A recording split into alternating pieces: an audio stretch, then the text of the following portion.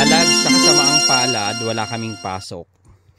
Nandito kami, gumising kami ng napakaaga. Alam nyo po ba, ang plano namin ay gumising talaga ng maaga kasi lagi kaming late.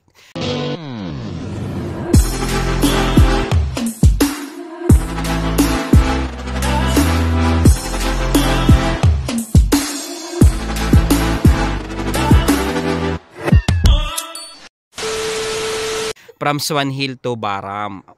So anong nangyari po lalabs, my God. kami po ang nasorpresa dahil wala palang pasok. But gayon pa man, nandito kami sa likod ng, ano, ng bahay ng farm owner. So may namimitas. May kumukuha po ng, ano yan lalabs? Orange. Orange. Yeah, orange yan. Tapos ako ang pumitas niyan, binigay ko sa kanila para damay-damay na. Mga taga Quezon po ito lalabs. Alam niyo, tandaan niyo yan. So ayan po yung mandarin. Kung mapapansin nyo lalabs, ayan po ay green. Sa Pilipinas po dalang hita yan.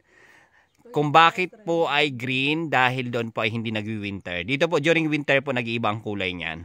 And normally, ang ano niyan, ang tubo niyan, ang pamumunga niyan ay during winter din. So ang sarap dito sa likod ng ano ng farm owner. Tapos may puno ng saging lalabs doon and for sure nag ano din yan namumunga din. Andun sa kabila, ayun. Ayun yung puno ng saging. Ayan. Ayan oh. Ay- Ayan oh.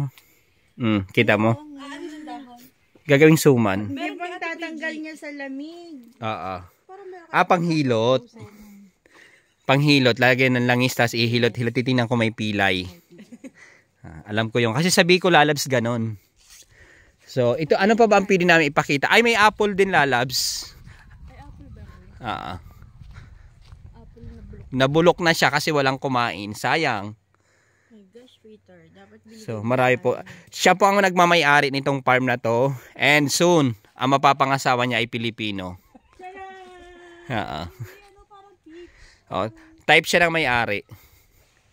Ewan ko kung type niyang may-ari. Yun ang tanong.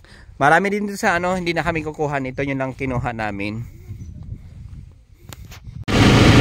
Mapagpalang araw mga lalabs, nagbabalik ang Oliram Bragger ng Bicol ang fruit picker sa Australia. Lalabs, tingnan nyo naman, pagi ngayong araw na ito. Ngayon po ay araw ng Sabado. Napakasarap, rest din namin yesterday, Friday. So ngayon po ay mamimitas ulit kami ng broccolini. Napakaganda ng umaga lalabs. Tingnan nyo naman po ang lawak ng aming tataniman. So pagkatapos namin mamitas ng broccolini, lalabs, meron kaming gagawin ulit. At balita ko lalabs, hindi lamang broccolini ang gagawin namin dito, cauliflowers and broccoli, spring onion, zucchini, magtatanim din kami lalabs ng pumpkin, squash or butternut pumpkin. Lalabs dito po yan, dyan po lalabs sa mga nakikita nyo. Kung bago pa lamang kayo lalabs dyan, like, comment, share, and subscribe. In pahit po ng bell button para ma-notify po kayo sa mga video na pinagagawa namin dito sa Barham, Australia. And of course, lalabs, follow nyo po ang aking Facebook page, Noy Alan TV. Like na rin po and pa-share ng aking mga video na inilalabas doon. Huwag nyo pong i-skip yung ads sa aking mga video lalabs. Ayan lalabs. Mandarin, hindi pa po ready. So ito po yung susunod namin pipitasin dito po sa New South Wales, Australia. Yan, ang lalaki na po lalabs. Pero hindi pa po yan ready. So I think it takes 3 weeks to 1 month bago namin yan mapitas. Nagbabagsakan na yung iba, sayang, ayan. Sayang lang. So dito po lalabs ay hindi po hourly ang trabaho, ito po ay kontrata. So hindi pa po natin alam ang presyo dahil ma- matagal pa po.